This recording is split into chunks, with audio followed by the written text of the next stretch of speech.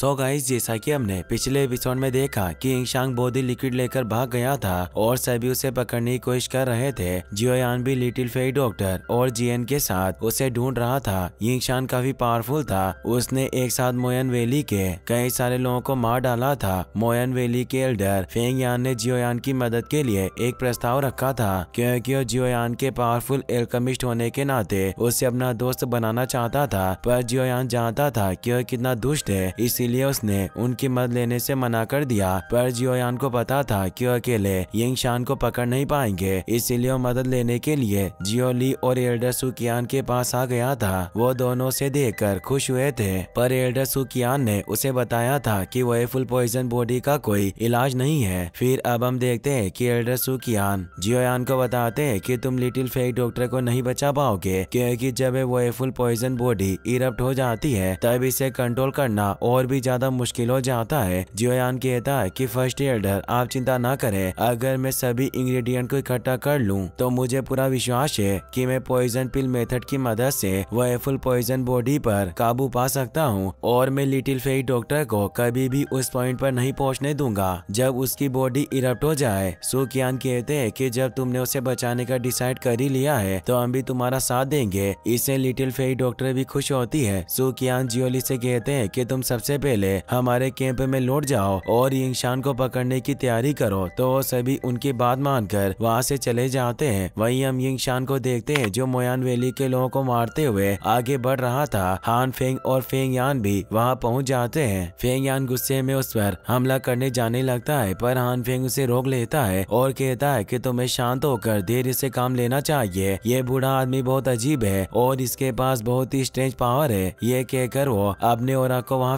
फैलाता है, जिससे यिंगशान डर कर वहाँ से भागने लगता है। हान फेंग कहता है कि मुझे इसका और काफ़ी अजीब महसूस होता है। वहीं जियोयान भी इंशान के ओरा को महसूस कर लेता है और वो एल्डर सुकियान को बताता है कि इंशान तेज़ी से इसी तरफ़ आ रहा है। इसीलिए हमें उस पर घात लगाकर हमला करने की तैयारी करनी चाहिए। तभी इंशान वहाँ से आगे निकल जाता है। वो सभी उसको पकड़ने के लिए उसके पीछे जाते हैं। सुकियान, लिटिल फेक डॉक्टर और जियन उसके पीछे होते हैं। पर तभी जियोयान आगे से आकर उस पर हमला कर देता है और उसे कहता है कि तुम भाग नहीं सकते। बॉडी लिक्विड हमें सौंप दो। तभी लिटिल फेक डॉक्टर भी उस पर हमला कर देती है, पर वो अपनी ब्लैक रूट पावर से उसके वार को रोक लेता है। यह देखकर लिटिल फेक डॉक्टर भी हैरान हुई, कहती है कि इसके और में बहुत गड़बड़ है। यह फाइट एस्टर एलिट के जितना प्योर नहीं है। जीएन भी अब यिंगशान पर हमला करने लगती है। उसके लगातार हमलों से यिंगशान दूर हो जाता है। एल्डर सुकियान भी वहाँ जाते हैं, जिसे देखकर यिंगशान डर जाता है और सोचता है कि मैं एक साथ दो फाइट एस्टर से नहीं लड़ सकता और वहाँ से भागने लगता है। जियोयान उसके आगे आ जाता है और कहता है कि तुम इतनी आसानी से हमसे बचकर भाग नहीं सकते और उस पर रूलर से हमला करने लगता है। पर वो बच जाता है और वो सोचता है कि ये बहुत सख्ती से मेरा पीछा कर रहे हैं। मुझे इनके साथ एक गेम खेलना होगा और अपने चार क्लोन बना लेता है और अलग अलग दिशा में भागने लगता है। लिटिल फेक डॉक्टर जियोयान को बताती है कि हमें सावधान रहना होगा। इस बूढ़े इंसान की ओरा में कुछ गड़बड़ है। जियोयान कहता है कि हमें अलग अलग होकर चारों क्लोन का पीछा करना चाहिए? तो सभी एक एक क्लोन के पीछे चले जाते हैं। वो सभी एक एक क्लोन को पकड़ लेते हैं और उसे फाइट करने लगते हैं। जियोयान भी इंशान के पास पहुँच जाता है। ये इंसान रुक जाता है और उसे कहता है कि इतने समय से वो तुम ही थे जो मेरी जासूसी करने की कोशिश कर रहे थे, पर तुम में मुझे रोकने की काबिलियत नहीं है और अपनी ब्लैक रूट मैजिक टेक्निक को एक्टिवेट कर लेता है। जियोयान उसे कहता है कि तुम चोर हो, तुम इधर उधर भागते हुए बॉडी लिक्विड को ले जाना चाहते हो, क्या तुम्हें डर नहीं है कि इससे और ज़्यादा लोग तुम्हारी तरफ़ अट्रैक्ट होंगे? यिंग शान उस पर हमला करने लगता है और अपने ब्लैक रूट में उसे पकड़ लेता है। पर जियोयान के पास ओनली फ्लेम थी, इसीलिए आसानी से बाहर आ जाता है और उस पर हमला करने की कोशिश करता है। पर इंशान अपने ब्लैक रूट से बच जाता है और जियोयान पर हमला करने लगता है। जियोयान अपने ब्लैक रूट से बचने लगता है और थ्री थाउज़ेंड लाइटनिंग टेक्निक की मदद से वो इंसान पर हमला करने की कोशिश करता है, पर उसे कुछ नहीं होता। उसका ब्लैक रूट मेजिक काफ़ी पावरफुल था और जियोयान पर ही हमला करने लगता है और कहता है कि आज तुम यही मर जाओगे और यह दुनिया एक अच्छा एल्कमिस्ट खो देगी? ये कहकर वो और तेज़ी से उस पर हमला करने लगता है, पर जियोयान उस पर फ्लेम स्प्लिटिंग सुनामी टेक्निक से हमला करता है, जिसकी पावर काफ़ी ज़्यादा होने की वजह से ये ईशान उस टेक्निक के हमले को रोक नहीं पाता और मारा जाता है। जियोयान इससे हैरान होता है कि इतनी जल्दी मर गया, तभी लिटिल फेक डॉक्टर भी वहाँ एक क्लोन को पकड़ कर ले आती है, जो अभी मर चुका था और जियोयान से पूछती है कि क्या तुम ठीक हो? जियोयान कहता है कि मुझे कुछ नहीं हुआ। अब जियन और एल्डर सुकियान भी अपने क्लोन को पकड़कर वहाँ ले आते हैं और जियोयान को बताते हैं कि हमें इनके पास से बॉडी लिक्विड नहीं मिला, यानी ये असली इंसान नहीं थे। लिटिल फेक डॉक्टर कहती है कि ये चारों सिर्फ़ क्लोन है और इनमें कोई भी ओरिजिनल बॉडी नहीं है। जियोयान कहता है कि उस बुढ़े चोर ने हमें धोखा दिया और वो वास्तव में कहीं छिप गया होगा और अपनी स्पिरिचुअल पावर से यिंगशान को ढूँढने लगता है, उससे यिंगशान का पता चल जाता है और वो सभी को बताता है कि वो बूढ़ा चोर ज़्यादा दूर नहीं गया। और वो लिटिल फेक डॉक्टर और जियन से कहता है कि तुम मेरे साथ चलो और एल्डर सुकियान से कहता है कि आप यहीं रुकना, मैं अपने रास्ते में आपके लिए मार्क छोड़ दूँगा ताकि क्लोन नष्ट करने के बाद आप जल्दी वहाँ जाना। एल्डर सुकियान चिंतित थे वो उन्हें कहते हैं कि क्या तुम तीनों से रोक लोगे? जियोयान कहता है कि हम सभी भी नहीं जानते कि इंसान और उसके क्लोन के बीच क्या कनेक्शन है? इसीलिए हम इन क्लोन को ऐसे ही छोड़कर नहीं जा सकते। हमें सतर्क रहना होगा और हम तीनों की पार कम नहीं है। हमें इंसान से निपटने में कोई दिक्कत नहीं होगी। जीएनबी से खुश हो जाती है और कहती है कि मैं उस बूढ़े को अच्छा सबक सिखाऊँगी। एल्डर सुकियान भी मान जाते हैं और कहते हैं कि अपना हर एक कदम सावधानी से आगे बढ़ाना।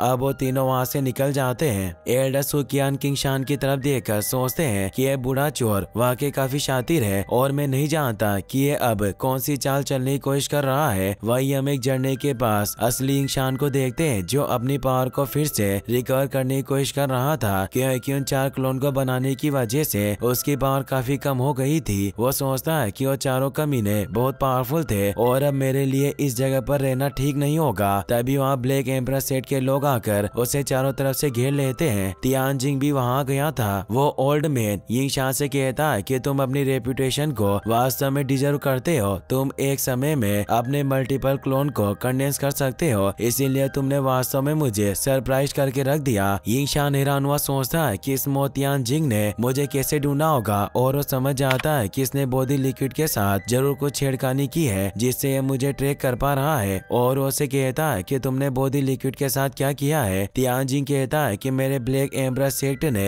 काफ़ी सालों से ब्लैक कॉर्नर रीजन में अपने फुट होल्ड कर रखे थे। इसीलिए तुम हमें कमज़ोर समझने की गलती नहीं कर सकते। यिंगशान कहता है कि तुम्हारे काले तरीके बहुत फ़ेमस है। तुम अपने ऑक्शन में घोटाला करते हो और मुझे ऐसा लगता है कि तुमने ये कई बार किया है। तियान जिंग कहता है कि तुम एक संकी इंसान हो। तुमने एक जोखिम भरा कदम उठाया और बॉडी लिक्विड को चुरा कर यहाँ आ गए। पर क्लोन बनाने से तुम्हारी पावर पर असर पड़ा है और तुम्हारी ओरिजिनल बॉडी की ताकत काफ़ी कम हो चुकी है। इसीलिए मैं तुमसे फाइट नहीं करना चाहता। तुम जानते हो कि तुम्हारे लिए क्या अच्छा है? चुपचाप तुम मुझे वो बॉडी लिक्विड सौंप दो। यिंग शान कहता है कि मैं जानता हूँ कि तुम बहुत बड़े कमीने हो। अगर मैं तुम्हें बॉडी लिक्विड सौंप दूँ तो अभी तुम मुझे यहाँ से जाने नहीं दोगे। तियानजिंग कहता है कि अगर तुमने मुझे बॉडी लिक्विड वापस दे दिया तो मैं तुम्हें तड़पा कर नहीं मारूँगा। यिंग शान अपने ओरा को एक्टिवेट करके कहता है कि भले ही मैं अभी अपनी पीक कंडीशन में नहीं हूँ, पर तुम मुझसे आज बौद्धिस्ट बॉडी ट्रांसफॉर्मेशन सलाइवा को छीन नहीं पाओगे। तियानजिंग कहता है कि अगर तुम्हें ऐसा ही लगता है तो तुम कोशिश करके देख सकते हो, और उस पर हमला करता है। पर यिंग शान अपनी रूट पावर से उसके हमले को रोक लेता है। यिंग शान जान गया था कि जियोयान भी वहाँ आ चुका है, इसलिए कहता है कि अब छिपने का कोई फ़ायदा नहीं है। तो Xiao Yan little fake doctor और जीएन के साथ उनके सामने आ जाता है और कहता है कि मैं कब से आपको देख रहा था, मुझे उम्मीद नहीं थी कि यहाँ एक अच्छा शो चल रहा होगा। अगर मैं थोड़ा लेट होता तो मैं इसे मिस कर सकता था। तियानजी कहते हैं कि, यान जियो, तुम वास्तव में एक्स्ट्रा ऑर्डिनरी हो, तुमने आसानी से इस जगह का पता लगा लिया। जियोयान कहता है कि ऐसा नहीं है। सेक्ट लीडर में आपकी तुलना में अभी भी बहुत पीछे हूँ। तियानजिंग सोचता है कि लड़का नॉर्मल नहीं है, मैं इससे दुश्मनी मोल नहीं ले सकता। और जियोयान से कहता है कि बॉडी लिक्विड मूल रूप से तुम्हारा ही है। तुमने ही इसे ऑक्शन में जीता था। हम इस सन की निशान से निपटने के लिए साथ में मिलकर काम कर सकते हैं, जिससे वो बॉडी लिक्विड तुम्हारा होगा। और मैं उसके बदले में सिर्फ़ तुमसे सेक्टर ब्रेक थ्रू पिन लूँगा।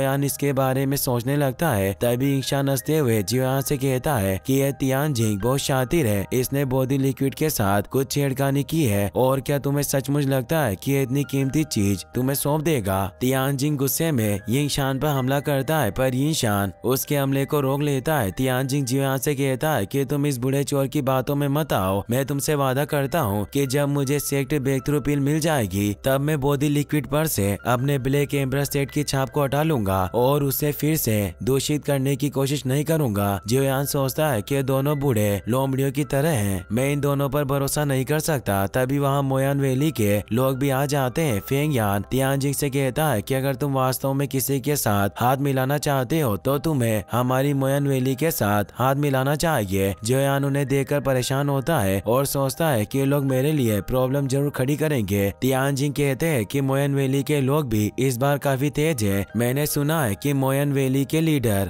अभी डे सिक्यूलेशन यानी मृत्यु एकांतवास में है, इसीलिए मैं अभी तक नहीं जानता कि तुम्हारे साथ जो फाइट एस्टर है, वो वास्तव में कौन है। फेयान बताता है कि मेरी मोयन वैली के एक सम्मानित अतिथि है और आप सभी जो इस लड़के को इतना अच्छा समझ रहे हैं, वो वास्तव में इतना अच्छा नहीं है और आपको इसे यान जियो नहीं, बल्कि जियो यान बुलाना चाहिए। जो जियो सेट का लीडर है इससे यिंगशान और तियानजिंग दोनों हैरान हो जाते हैं। फेयान कहता है कि वही जियो यान है जो कुछ सालों पहले ब्लैक कॉर्नर रीजन में काफ़ी फ़ेमस हुआ था और इससे गोल्ड एंड सिल्वर एल्डर भी जीत नहीं पाए थे। जियो यान को उन पर काफ़ी गुस्सा आता है। फेंग यान को उसके बारे में हान फेंग ने बताया था कि, जियो यान ने जब एल्डर सुकियान के सामने मास्क को हटाया था तो उसने जियो यान की ओरा को पहचान लिया था। अब हान फेंग भी कहता है कि जियो यान तुम्हें एक बहुत ही स्ट्रॉन्ग फेमिलियर फीलिंग आ रही होगी और वो आगे आकर अपना मास्क हटा देता है जिससे एक तेज ओरा निकलता है। चियोयान इससे बहुत हैरान होता है कि वो हान फेंग है और अब जल्द ही उनमें फाइट होने वाली थी। इसी के साथ ये एपिसोड यहीं पर खत्म हो जाता है। गाइस अगर आपको वीडियो पसंद आया हो तो इस वीडियो को लाइक करने के साथ साथ चैनल को सब्सक्राइब ज़रूर कर लेना। मिलते हैं नेक्स्ट वीडियो में। Thanks for watching